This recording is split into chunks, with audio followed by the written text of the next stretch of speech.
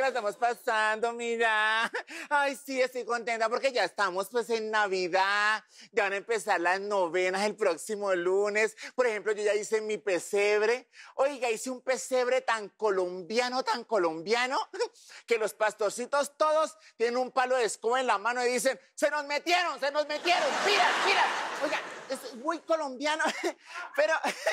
Pero mire que, pero mire que uno pues, o sea, cuando uno hace las novenas es porque uno está esperando que le llegue el regalo del niño Dios. Yo me acuerdo que yo siempre decía a mi mamá, mamá, yo quiero que el niño Dios me traiga una bicicleta. Decía, no grite, que el niño Dios no es sordo. Yo, pero mi papá sí. pero mire, uno se mete en este cuento, pero uno, por ejemplo, en la Navidad pasa algo, ¿cierto? Se dan muchos reencuentros, mira, ay, ahorita vi uno tan triste, pero triste, triste. un señor se encontró con su hijo que hace 10 años, mira, no se conocían. Él le dijo, hijo, te tengo una sorpresa. Ay, le regaló una bicicleta. El niño también le dijo, papá, yo te tengo también una sorpresa. Y ¡pum! Una demanda de alimentos. O sea... no falta el tío, el tío. Bueno, este año monté un negocio. Oiga, la gente hace fila para entrar.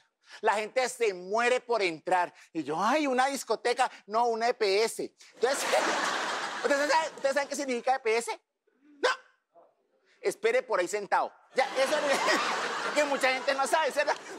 Pero por eso hoy vamos a hacer la novena. Vamos a hacer la novena. Vamos a empezar con los gozos. ¿Listo con los gozos? Yo aquí traje la novena. Vamos a hacer los. A ver, los gozos, por ejemplo, para las bendecidas y afortunadas.